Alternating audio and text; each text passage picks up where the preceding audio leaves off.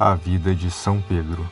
Tu és Pedro, e sobre esta pedra edificarei a minha igreja, e as portas do inferno não prevalecerão contra ela. Mateus 16, 18. De acordo com o Papa Bento XVI, em seu livro Os Apóstolos, Pedro é o apóstolo mais citado no Evangelho, 154 vezes.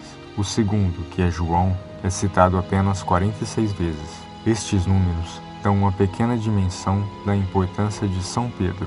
Uma outra observação que podemos fazer é que nos evangelhos de Mateus, Marcos e Lucas, onde é citado o nome dos doze apóstolos, Pedro sempre é o primeiro na lista. Nascido em Betsaída, na Galiléia, próximo à cidade de Cafarnaum, o seu nome de nascimento era Simão. Seu pai se chamava João ou Jonas.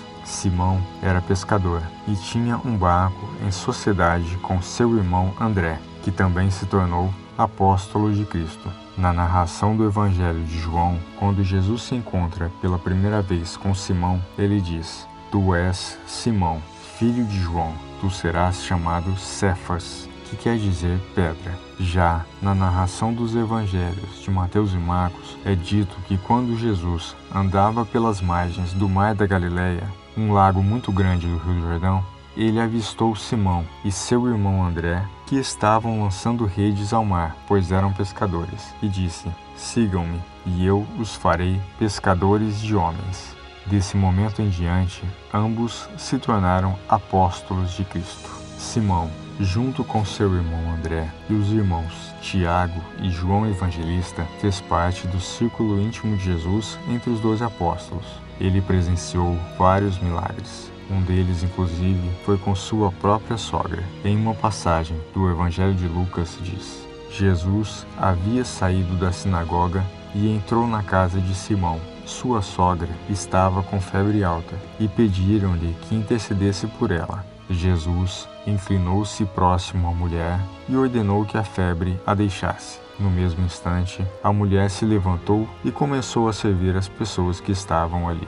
Mas a passagem que marca a vida deste apóstolo para a eternidade foi aquela que Jesus pergunta aos seus discípulos: Quem dizem os homens ser o filho do homem? E eles disseram: uns João o Batista, outros Elias e outros Jeremias ou um dos profetas. E Simão disse: Tu és o Cristo, o Filho do Deus vivo. No mesmo instante, Jesus falou: Bem-aventurado és tu, Simão, porque não foi a carne e o sangue que lhe fizeram esta revelação, mas sim meu Pai, que está nos céus. Pois eu te digo: Tu és Pedro, e sobre esta pedra edificarei a minha igreja, e as portas do inferno não prevalecerão contra ela.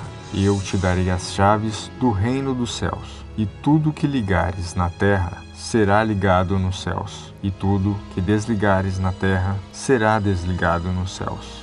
O apóstolo também aparece ativamente nas narrativas dos últimos momentos de Jesus Cristo antes da crucificação. É dele, junto de João, a responsabilidade de organizar a última ceia. É ele quem questiona o Senhor quando estava a lavar os pés dos doze apóstolos. E quando o Senhor explicou sobre a importância daquele gesto de lavar os pés, ele pediu até mesmo um banho. Simão Pedro era uma pessoa impulsiva, sempre era o primeiro a questionar o Mestre e por isso era, de certa forma, o porta-voz dos apóstolos, mas algumas vezes se arrependia de suas atitudes. Podemos citar dois exemplos de seu temperamento impulsivo, quando, na ocasião da prisão de Jesus, o defendeu de todas as maneiras e chegou a cortar com sua espada a orelha de um soldado romano. E em outro exemplo, logo depois, quando Jesus já estava preso, o negou por três vezes, dizendo que não o conhecia. Logo após, o galo cantou.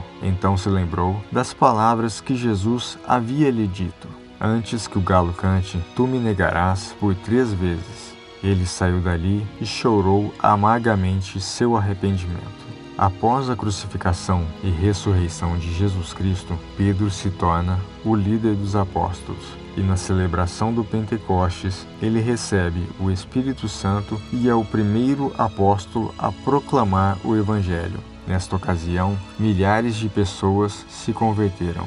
De acordo com relatos, depois de pregar o Evangelho em muitos lugares, Pedro foi perseguido e preso pelo imperador Nero em Roma entre os anos 64 e 67. Ele foi condenado à morte na cruz. No momento da crucificação, São Pedro pediu para ser crucificado de ponta cabeça, pois não era digno de morrer como Cristo. Seu túmulo está na Basílica de São Pedro, no Vaticano, em Roma, na Itália. São Pedro, o primeiro Papa da Igreja Católica Apostólica Romana e o terceiro santo junino, é festejado no dia 29 de junho. Se você gostou do vídeo, compartilhe, clique no joinha, inscreva-se no canal e ative as notificações. Desta maneira, sempre que houver atualizações, você será avisado. E venha conosco fazer parte desta expedição sobre a vida dos santos católicos.